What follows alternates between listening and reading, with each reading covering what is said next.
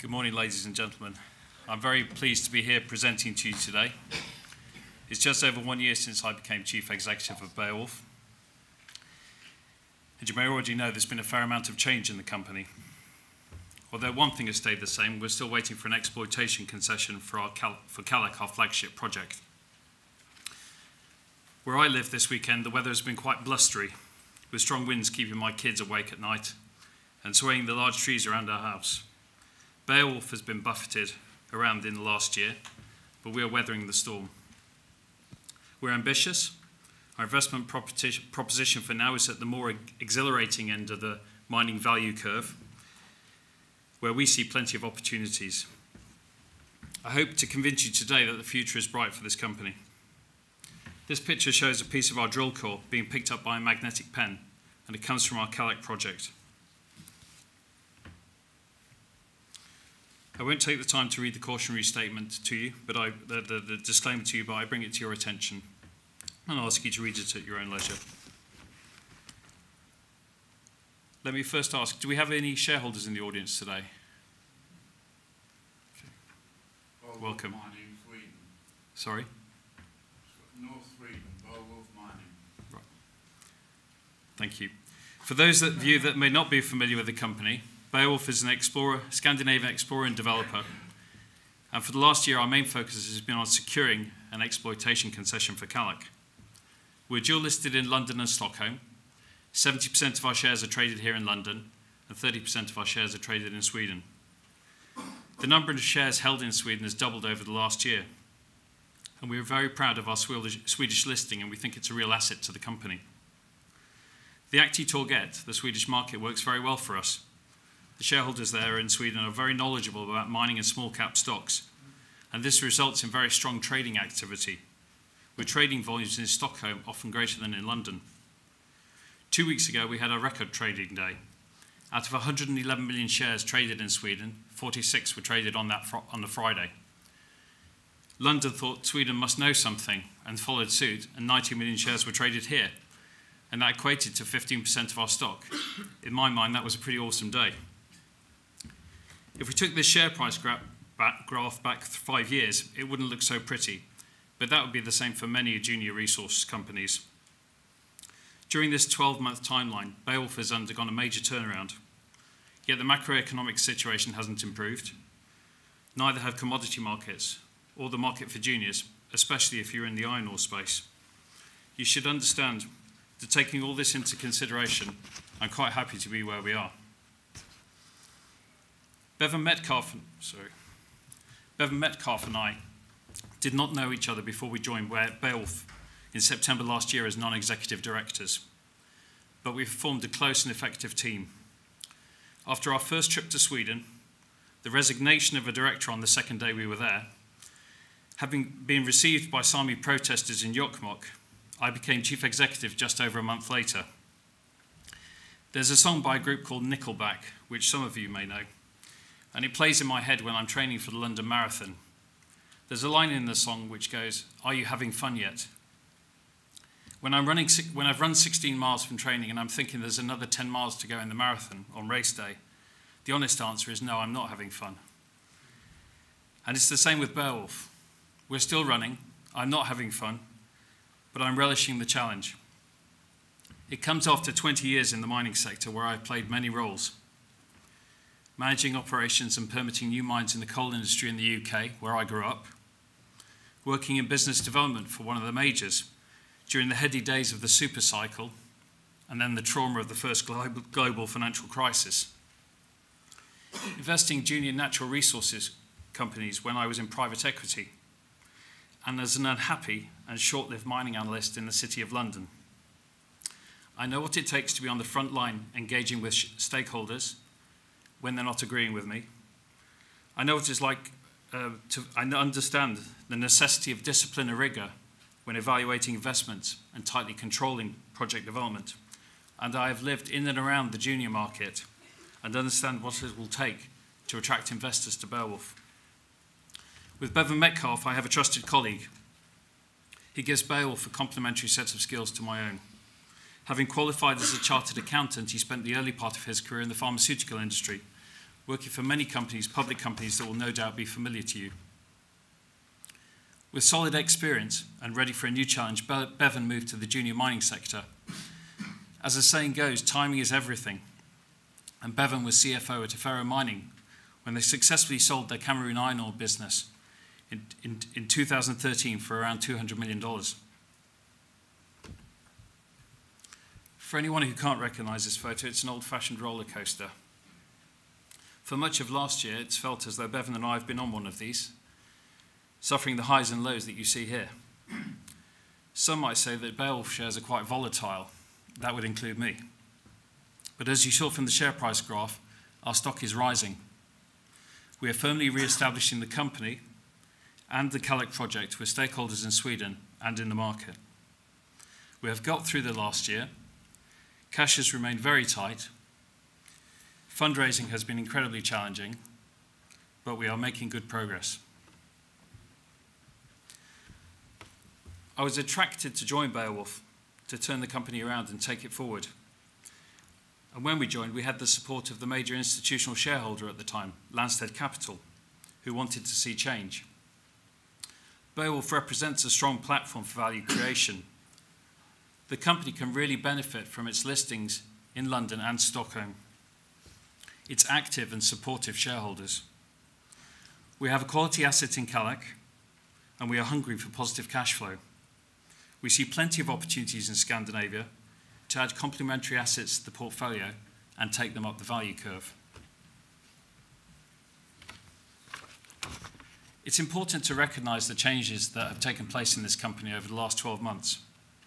You have a new board and management team. We have cut costs, benchmarked executive compensation, and improved operational controls.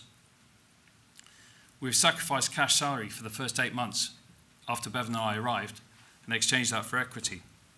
We worked with Lanstead to accelerate agreements that we had with them to bring, new fund, to bring funds into the company earlier and we also raised an additional £1 million in London this year.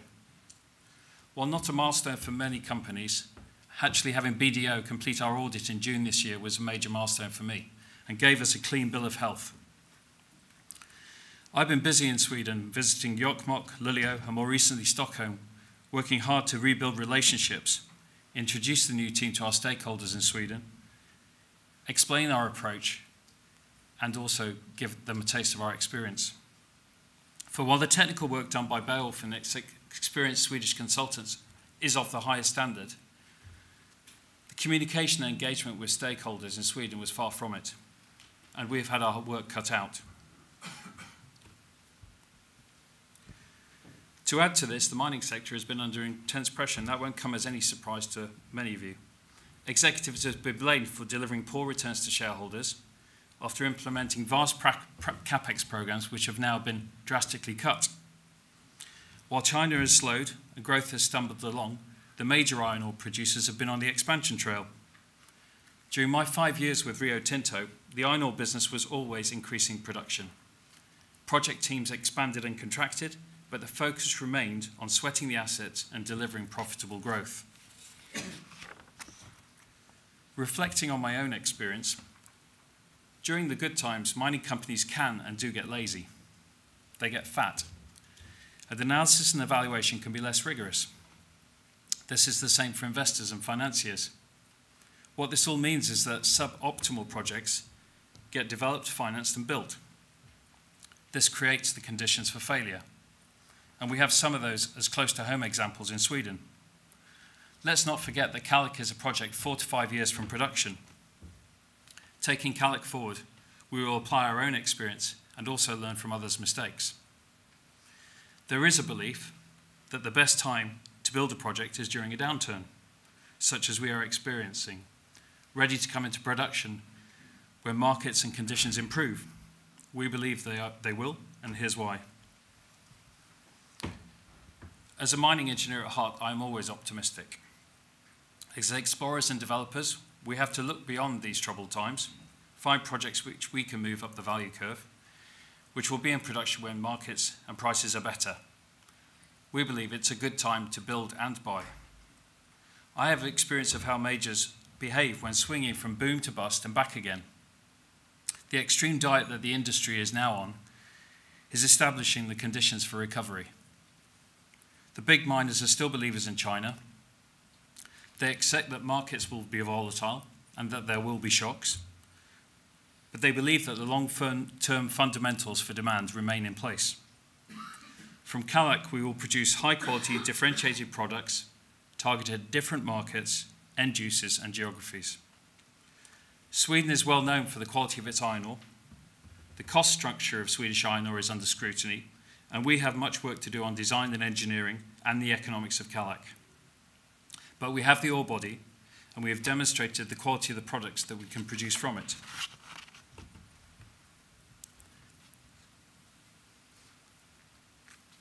Turning to Kallak in more detail. The project is situated in the county of Norrbotten in northern Sweden, about 40 kilometres west of the town of Jokkmokk and 90 kilometres southwest of Gällivare. Kallak has been known about for over 70 years, first discovered in the 1940s, and Beowulf has been in Sweden for over 10 years. We've completed almost 28,000 metres of drilling on Kallak. Both Bevan and I have experience of uh, developing major projects in Africa where you have no skilled workforce and rarely basic infrastructure. What Sweden offers is a long history of mining.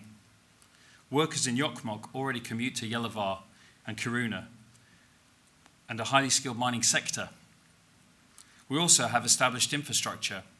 There's a hydro dam adjacent to, to the Kallak project. The rail is 40 kilometres away, and we're well served by road infrastructure. Beowulf has in the past had difficult relationships with key stakeholders in Sweden. So we have put a lot of emphasis into re-establishing the company this year and its subsidiary Jokkmokk Iron Mines in the community. These three mission statements are meant to capture the approach we are adopting and be aspirational. We're not quite there yet.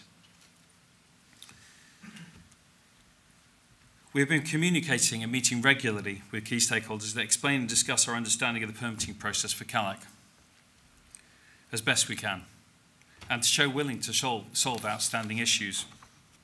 We have been discussing partnerships for the future so that we can work with other groups, groups who want to see economic growth in Jokkmokk and the north of Sweden.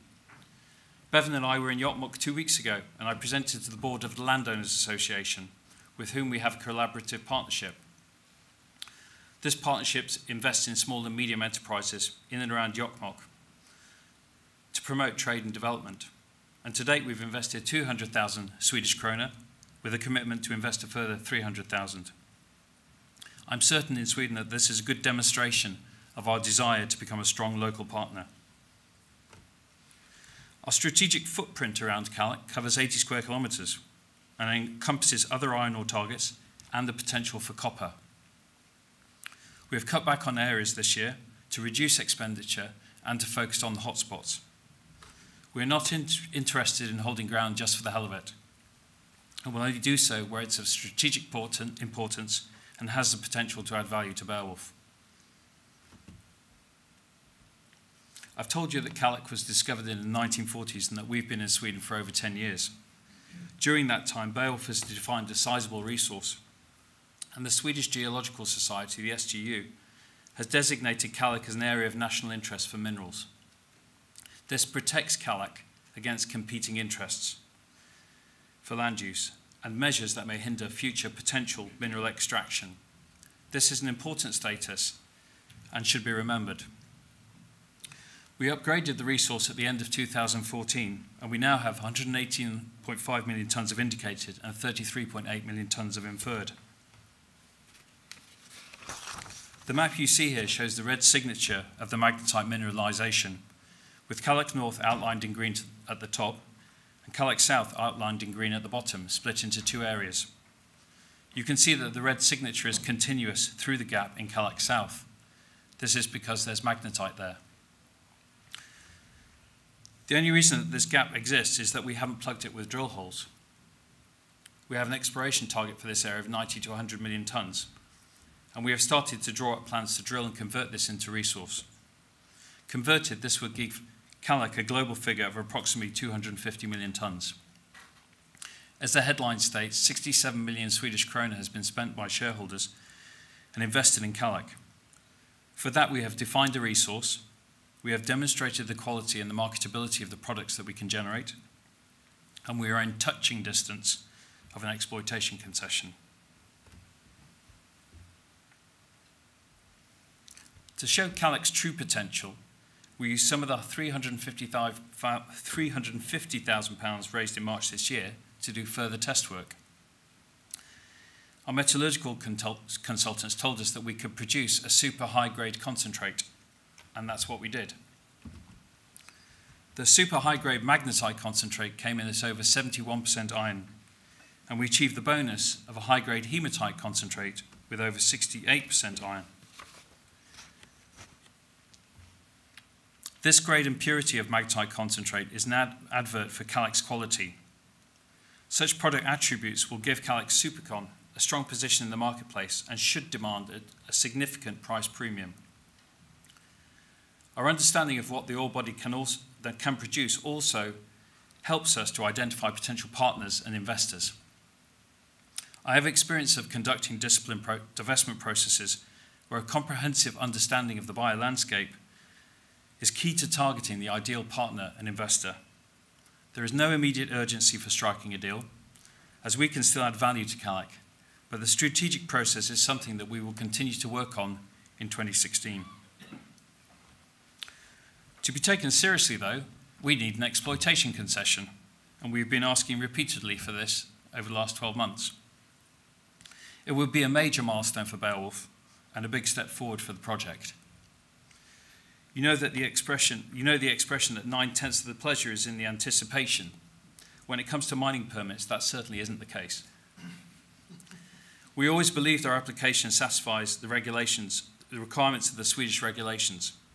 We've now gained the support of the County Administrative Board in July this summer. And we also gained the recommendation of the Mining Inspectorate in October, who told the government that the concession should be awarded. This year has been immensely frustrating, but we now feel that the scene is set for a positive decision by the government. As a miner, you like to be able to point to the project that you've completed as a definite example of the way you work and to give stakeholders confidence in your abilities.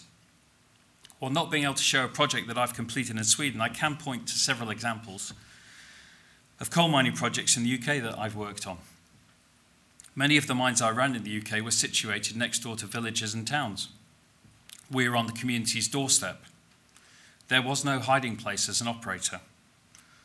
And so we worked to the highest standards, be that soils recovery, overburden removal, or extracting coal as cleanly as we could, all of which you can see here in the top three pictures. We worked hard to be a good neighbour. At the permitting stage, the full life cycle of a mine was planned for, from opening to closing, restoration and rehabilitation. Sometimes, sometimes this seems as a very new concept in Sweden, but this is how we are explaining our approach to the life cycle development of Kallak, to give our stakeholders comfort. To finish, I hope that you now appreciate that Belf has been through a turnaround year. I believe we're at a tipping point. With this, when we get the exploitation concession, God willing, with this in hand, we will be looking to advance Kallak and also seek out that strategic investor and partner. I've also said we're hungry for positive cash flow. With, Bale, with Kallak four to five years from production, we're actively, actively looking at opportunities to acquire assets that can get us in that position in an accelerated timescale. I have shown you our ambition, talked about the hard yards that we've covered this year, and our prospects. I, I believe that Beowulf has a bright future. With a bit of luck, I hope that sometime soon we'll have, be, have good reason to be as happy as this team.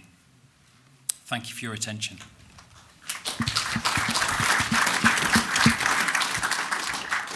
Thank you, Kurt. Uh, any questions um, for Kurt at all? Um, so uh, perhaps I'll just kick off uh, yep one. Um, the iron ore price is, is not exactly um, uh, soaring away at the moment. So um, the, the proposition of developing Kallak against that background, um, may seem less attractive, but clearly you're, you're optimistic. So perhaps you could just uh, sort of juxtapose those two dynamics and, and tell us why that's, uh, that's a, a worthwhile uh, proposition. I told you I'm a mining engineer, didn't I? And so yes. therefore I'm always optimistic. and I guess if I, if I had no view on the iron ore price in, in the long term, then I wouldn't have joined Beowulf. Um, I'm going to say the same as the previous speaker, that I have no sort of real view of the, the long-term iron price. I'm not going to guess what it is. Um, all I know is that I wouldn't want to be a producer at this point in time, and I'm very comfortable being in the development stage with Kallak, because a four to five year scenario looks a darn sight brighter than the current situation. We get affected, all, all boats rise and fall depending on the benchmark iron ore price. And so, you know, whether or not Rio Tinto, BHP, and Vale foresaw that uh, the expansion path that they were on would have had such a dramatic effect.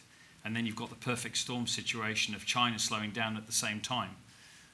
That affects us, you know, on a very sort of environmental basis, but on a project basis, when you bring it all back to what we're doing in, in Sweden, uh, the value that we can create in the short term is by get, delivering the exploitation concession. That's a major de-risking event, and it'll be hopefully give us a re-rating, and then just good, solid project development the quality of the products that Kallak can generate are second to none. They're market leading. We think they're superior than some of the other Swedish production. So, uh, and, and what I didn't mention in the presentation is the products are very clean as well. So with any, I, I would much rather be, I'm damn pleased that I'm not a DSO pro, um, selling hematite into China. I'm very happy to be a, a high quality magnetite developer, you know, and, and what I touched on was the, the markets that we're looking at approximate to to Sweden. So we're looking at Europe and the Middle East. You know, China may come into the, the picture, but at the moment, it's, it's, as I said, very different markets, very different end uses to where, to where the current, you know, iron ore is going. So um, just my second question, Kurt. Um, you, you, sort of hinted that um, cash flow is something you'd quite like to, the company to have, it, you know, in, in, some, in some shape or form. Um, and one assumption would be that, that you would acquire some projects. I just wondered if you had um, any comment on commodity or possibly and or jurisdiction in, in terms of what your thinking is. We, we will stick with Scandinavia for the moment because that's our hunting ground. And uh, we think the sovereign risk profile of Scandinavia is uh, quite compelling. And, you know, I made the comparison between, say, looking at African iron ore projects versus Scandinavian iron ore pro Scandinavian projects you have a skilled workforce available, you know, in some countries like Sweden and Finland, Norway to less, less lesser extent, but you have the rocks and the opportunities are there. So we've rapidly gone up the learning curve this year. We understand how the permitting process works. We've got strong relationships. Um, you know, mining inspectorate. You know, we're starting to develop relationships in the Swedish government. We've worked very hard in the country, so I'm not really tempted to go and charge off to to another country which is completely new and have to to reinvent the wheel with all those uh, those aspects.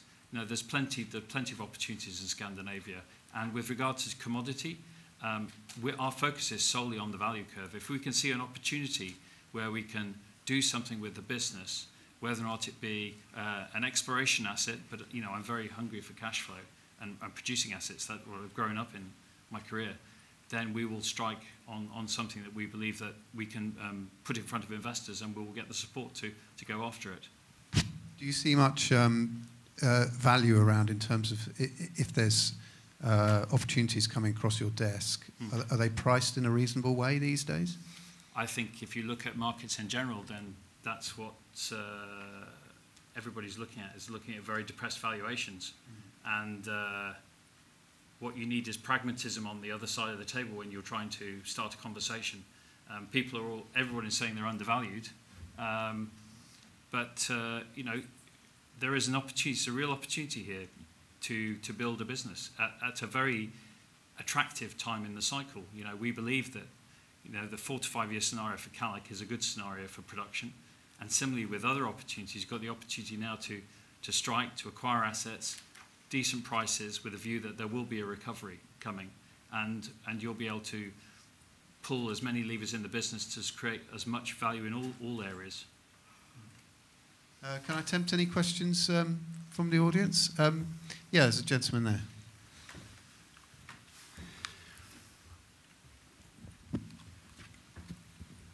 The recent rise in your share price is mainly due to the activity in the Stockholm Stock Exchange, is my understanding. I don't know if that's correct.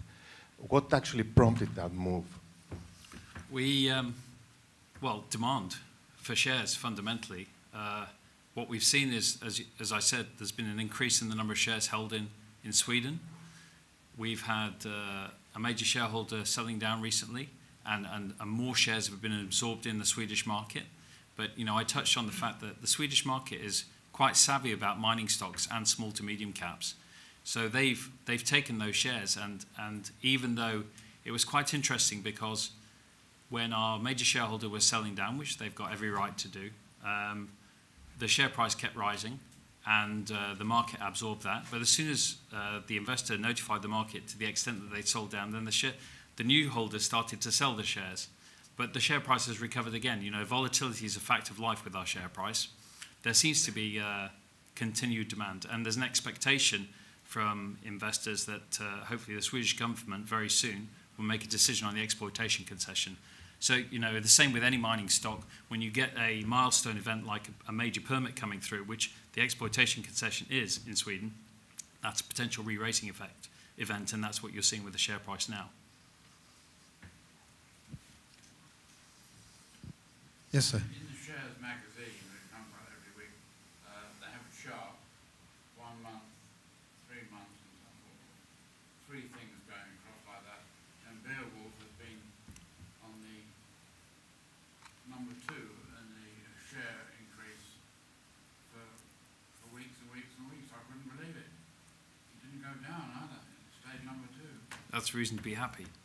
Have you seen it? Uh, no, I look at the share price on a daily basis, several times a day. Uh, So you know, the, looking at that share price graph, you know, I, it would, you know, junior mining stocks over the last five years are a horror story. Um, but you know, we we came into this Bevan and I because we saw an opportunity. I don't think uh, we're responsible for all the share price increase, but we've certainly worked very hard to, to support it in terms of the change that's taken place in the company. So, you know, when you, when you think about what's happening in the wider market, macroeconomics, the mining sector, iron ore prices, and all, all of that, and then you look at our share price, yeah, it's, I'm quite pleased with that. Well, on that optimistic uh, note, ladies and gentlemen, I think we'll, we'll wrap up this morning's session. Um, before we break for lunch, please join me in thanking Beowulf Mining's Kurt Budge.